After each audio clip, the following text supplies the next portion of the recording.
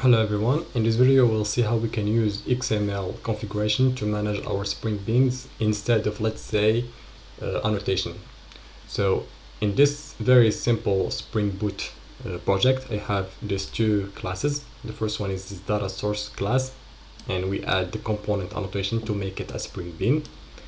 And the second uh, class that we have is the service class and we add again component to make it a Spring Bean and we want to inject the data source in our service so we can use it in this method. So we use autowired to inject the data source in our constructor. So this is a constructor based uh, injection. So right here what I'm gonna do is just gonna delete all of this annotation because I no longer want to use annotations in my project. Instead what I'm gonna do is just gonna create a XML file in the resource folder. Let's call it whatever we want I'll name it XML or beans.xml. And first thing we need to do is to, I will copy some tags from the Spring uh, official documentation. Let's do it.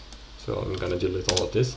So right here we have this tag and this is the main tag, the beans tag.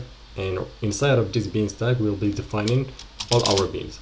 So just before uh, starting to create our bean we need to add this we need to create a new context a new spring context and we tell it that we'll be using this xml file as a source of our beans and to do that we just go to the main method and we create an application context. Let's call it context. And this is just an interface. We need an implementation. And we have a large implementation for the application context and one of them is the class path.xml uh, application context that we'll be using. And in the parameter we'll be passing in our beans XML file. There we go. And that's it. That's literally how we tell uh, the context. We create a context and we tell it that we'll be using our beans XML as a application context, XML application context. So let's go back to our beans uh, uh, beans uh, XML file. So let's create our first bean the data source bean. And to do that, we just create, we just use this bean tag, right? And this bean tag will be given two attribute. The first one is ID, and this ID is just an identifier for our bean, as a unique identifier for our bean. Uh, let's call it data source. And the second parameter we'll be using is class. And right here, we just simply tell our bean uh, where is the class that we'll be using for this specific uh, bean and obviously we want to use this class. So we specify it right here in the class uh, attribute. So just write in our package. There we go. So data source. And that's it. Like this is how I simply created my spring bean with just this one line. Now let's create our second uh, spring bean service. And to do that simply create a new bean. Let's give it again uh, ID to identify it. Service. Service. There we go. And again the class. And the class is the service class. Let's pass it in. There we go. And right here as we saw earlier early, early, earlier we pass in the data source in the constructor so we can do injection. So we can use this instance or this spring bean in our service class. And we do the same thing in uh, XML and how we do that is pretty simple. We just use uh, constructor argument this is uh, another tag that we use inside the bean and we simply pass in the reference to the uh, bean and that's it. With just this simple tag we simulated the auto wired that we had early uh, that we had before right here. There we go. Let me get it out of the way. And that's pretty much it. Like uh, that's it. I created the data source bean and I use it right here inside the service bean that I just created. So now let me go to the application context and let me run my let me run my main method. Okay, so we have everything passed in just fine.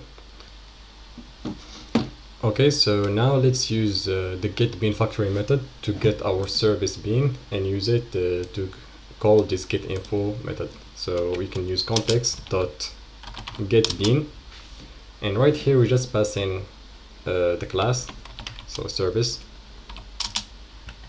Oh my god, sir service dot class, and right here I'll call the get info method.